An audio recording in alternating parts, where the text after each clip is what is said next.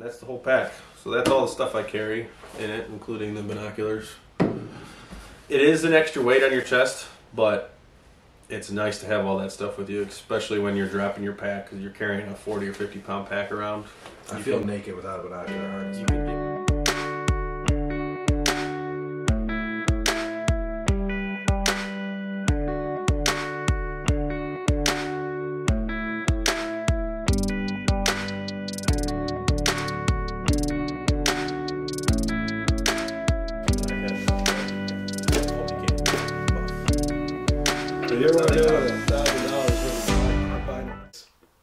All right, guys, we are back uh, doing some product reviews here on the channel. Uh, we're officially in the off season. We're still rolling out some episodes of hunting stuff. Uh, Isaac's episode just released his whitetail season, the story of the five by three. Um, man, I love I love putting that one together. That was a four year story. It turned out really well, but off season means we need to do some filler content, some other stuff that uh, we just can't get to when we're hunting. During hunting season, he hunted how many days out west? I hunted for about 60 days this year, if you include the spring bear That's- and then the fall. That's out of state hunting, I guess, not just Yeah. out west. Out of state, yeah. Crazy. So we don't have time to do a lot of uh, stuff that we'd like to do during the season. It's basically hunt, sleep. Uh, we don't work much in the fall, but hunt, sleep, Yeah, film, edit. lot. It's just it's crazy busy. But now that we're in the off season, 60 degree February day, we're gonna do our first product review in a while. Um, It's our first actual it's our first studio yeah putting together an actual production of a yeah product review. our first unboxing too. Uh, as anyone who watches the show knows, we built this last year during turkey season to kind of help with this kind of thing.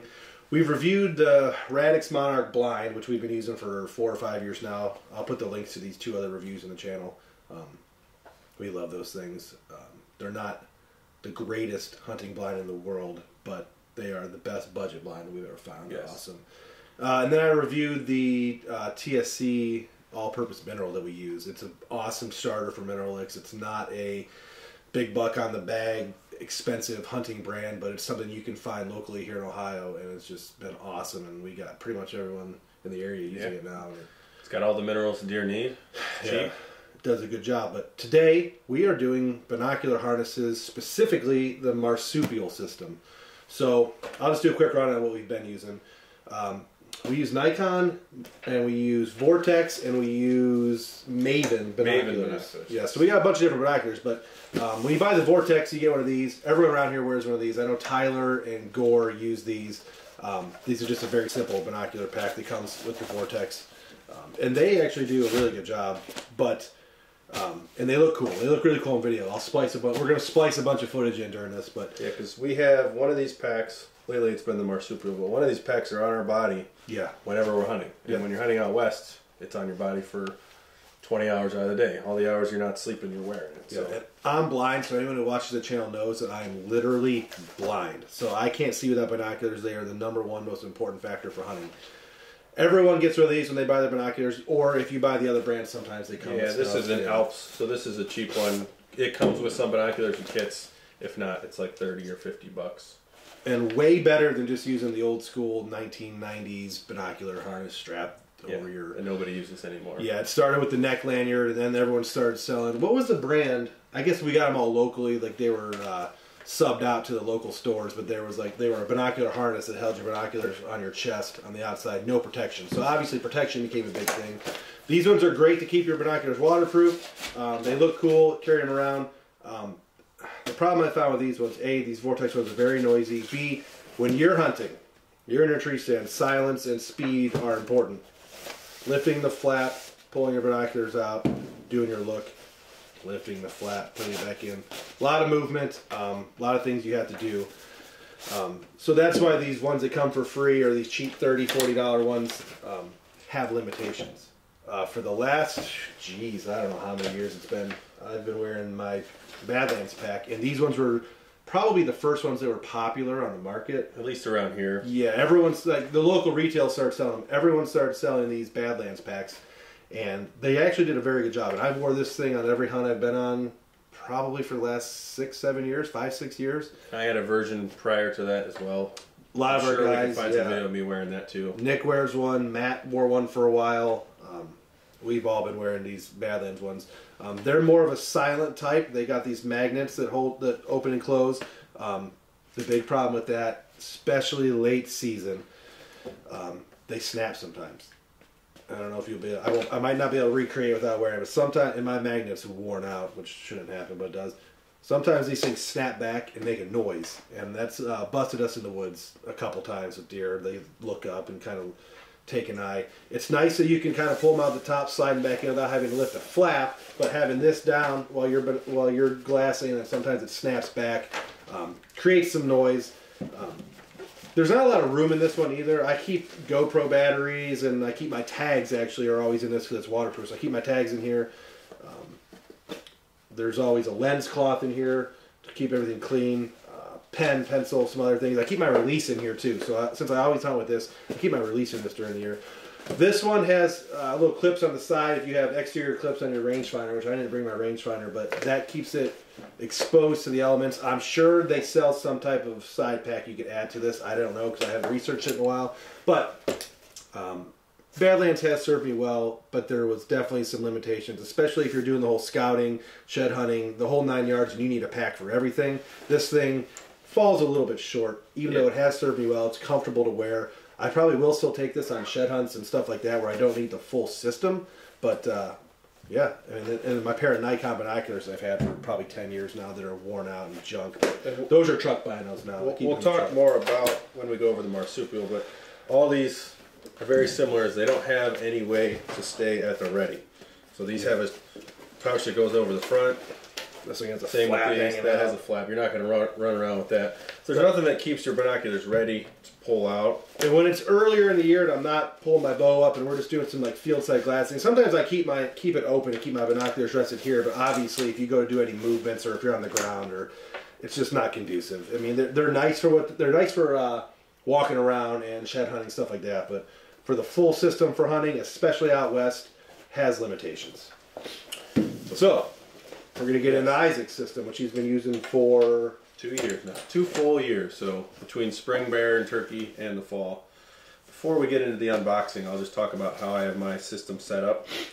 And this is pretty similar to, it's a pretty similar configuration to how I run here when we're hunting in the east and in the Midwest, but it's a little bit different because of the western hunts that I go on. So I keep a little bit more, a, a few more things in here than you normally would. Because this is the pack that you're wearing, like I said, 20 hours out of the day. If you don't have your backpack on, you're always going to have this on. So if you need something to stay with you at all times, you keep it in your binoc- binocular pack. So on mine, I'll start with the binoculars. This stays open, so it's a little bit different than the uh, the other systems that we were running before. I just keep my binoculars in here. It's a pair of Mavens. Uh, they're 10 by 42s. I think all of our binoculars we use are 10 by 42s. yeah my my Nikon's and my Vortex are 10 by 42s. Yes.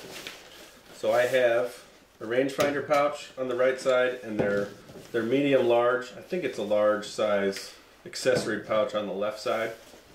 And I'll start with the Bino pack itself. In the back, depending on the area we're hunting, I carry revolver, 357, just a five shot. This is more for like black bear country, cougar country, something like that. If we're in grizzly country, I carry a, a Glock 20 10 millimeter on my waist. So I won't carry this if we're in grizzly country, but this is just kind of a backup self protection piece. And that slides in a po- pocket holster right into the back. Hillbillies in West Virginia too. Yeah, pretty much. We do a lot of mountain hunting. Yeah, two-legged and four-legged There's some- critters. There's some critters out there that that's no that's no diss to the West Virginia people there. We love hunting there, but you run across some people that are rough sometimes. Yes. In the right side, keep a wind indicator, just the talcum powder that everybody uses to check the wind. Left side, lens cloth, because as you know, we're filming all our hunts. So I use this more than anything else. And this binocular pack really starts to shine with all the different pouches it has. So on the front, I actually keep a lot of stuff. First off, I carry a couple uh, dude wipes, and those are for obviously what dude wipes are used for. Hmm. This is my Taito knife. So it, it's a really light, just a frame knife, and I carry two or three blades with it. So if I do happen to shoot an animal, I need to corner it out, I need to gut it. I have all this with me, and it's just it's not even an ounce. So this stays right in the front of my binocular pack, just in case I drop my pack somewhere. And you packed miles out away. you packed out a bear, a mule Yes. deer, and a whitetail this year Yeah, I've used this from knife. the backcountry. Yeah, use this knife to quarter and skin all those animals. This knife with two blades, you can pretty much break down any animal that I've been able to harvest or hunt. Uh, going on in the front, keep a couple GoPro batteries. That's usually what I have when we're hunting. Two batteries in there, just because we're filming everything with the GoPros. It's the easiest camera that we can use when we're on the go. Keep an extra couple of those batteries in there. But unfortunately, the batteries suck. Yes, The new cold weather ones are a little bit better. That's what we're using right now to film this. But And that's the pack itself. In the right side, I just this is the small rangefinder pouch, Vortex rangefinder. Actually, I'm going to replace this this year, but that works great for bow hunting. oh, you keep Yeah, it- and I keep it I keep keep it on a lanyard Smart. just to keep it attached. So if I'm ranging something, I can just drop it. I don't even have to worry about going into the pouch. But this pouch also has a magnet on it, so it's got a rain cover and it stays open, so your rangefinder just drops right in there. Uh, right side or left side pack. This one I keep kind of full because I carry my Garmin InReach. So this is the satellite communicator that I use when I'm out west, pretty Or- much or West Virginia. or West Virginia. Anywhere you don't have phone service, you can send text messages with this. So whether you're communicating with the people you're hunting with or people back home, that's very important. And it's very, uh, it's a very big safety piece. It has an SOS button on it. So if I do fall down, break my leg, fall into a mountain, I can press that, and people will come and help. Uh, headlamp. Headlamp's really important when you're hunting out west, and even here. Yeah, I mean, public land or new places. Yeah. I mean, we don't use them on the farms that we're familiar with, obviously. But if you're anywhere Yeah. unfamiliar, So it's free, and you're carrying stands and bags and bow and couple different headlamps I use. This is just a black diamond. It's like a thirty or forty dollar headlamp, but I actually carry two. I carry this tiny little backup one too, just in case that one fails, batteries die, I lose it. I have this too, because if you're on a mountain with no light, you're pretty much screwed at night. Uh, permanent marker for filling out tags. And the last two things, lighter, just just in case you have a lighter. And I use it to light my stoves and everything when we're cooking, just because you have it on your chest, it's right there. And then chapstick, wrapped, it, wrapped in some tape. So you got your chapstick, which you always need because you're outside. And then blister tape. So if you cheap non-Burt's Bees, man. Come yeah, on, it's just regu- regular old Man. chapstick. gross. And blister tape on there too. That way you always have it with you if you start getting blisters on your feet. And other than that, usually in the back I keep my tags. That kind of keeps them safe. And that's the whole pack. So that's all the stuff I carry in it, including the binoculars. It is an extra weight on your chest, but it's nice to have all that stuff with you, especially when you're dropping your pack because you're carrying a 40 or 50 pound pack around. I You feel can- naked without a binocular harness. you on. can get by with what you have in this, especially in an emergency situation. So yeah, nice to keep it all in one spot. Multicam, frog skin arid, frog skin tropical, and coyote brown. And the oh, Ranger Green. Caleb has a ranger green muff, and I have a multi-pan, multicam muff. Well, you ever That's how want they know what a thousand dollars worth of binoc- or bino harnesses look like? This one is pretty steep. Um, there definitely is some cost involved to have this system, but this is a buy once, have forever type thing. I don't see myself um, adding to this or at least stop using it. This is going to be what it is for a long time.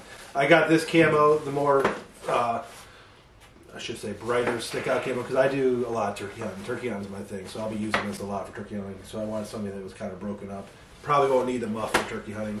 Uh, the muff also con- connects to the bottom here too, so you can make one full system out of this.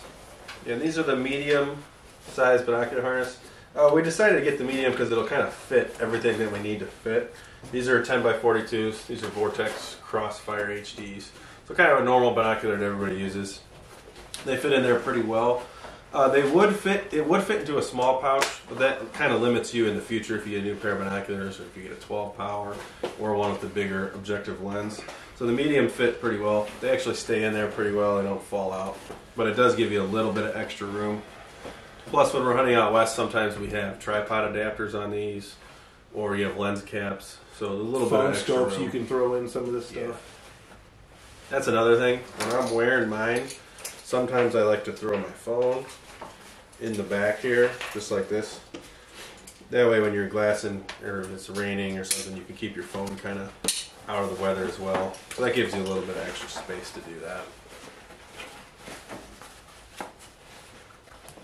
We have unlimited amounts of video of us wearing these. Yeah, we'll definitely put some highlights in. Killed a lot of deer. Isaac's killed a lot of deer wearing these. Um, that's it. These are your new binoculars. Yep. A little binoculars. There it is. New marsupial pack. Yes. Yeah, these are pretty cool. I like these. All right, I'm set up. And oh my gosh, is it beautiful out here? November 15th. A little bit of sleet coming down.